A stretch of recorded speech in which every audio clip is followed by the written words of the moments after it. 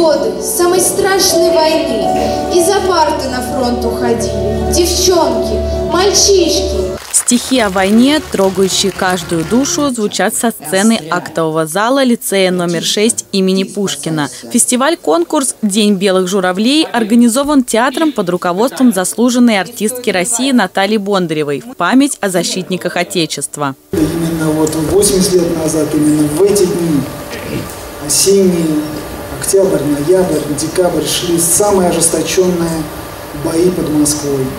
И вот э, по территории Одинцовского района проходила линия фронта, здесь был последний рубеж обороны, как вот было сказано в постановке. Это лишний раз напоминает, что враг дошел сюда и дальше не пошел. Школьники со всего округа подготовили для фестиваля литературно-музыкальные произведения военной тематики. В каждое выступление вложили частичку души.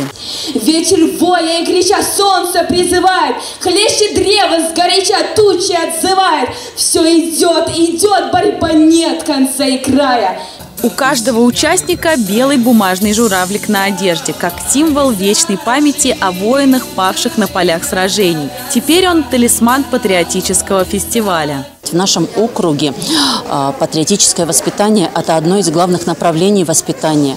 А когда дети со сцены настолько душевно, настолько самоотдачей э, читают произведения, известные произведения, но слышишь их как первый раз. Я вам честно скажу, слушала и вот просто таяла. Я растворялась в этом конкурсе, я растворялась в этом фестивале. Здесь присоединились и наш второй лицей, и четвертая гимназия.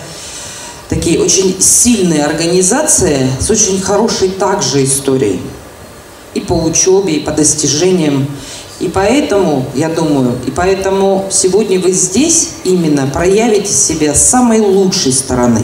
Я очень надеюсь, что этот фестиваль, он был первым, первым таким журавликом на, нашем, на нашей Одинцовской земле. Я очень надеюсь, что он все-таки станет ежегодным.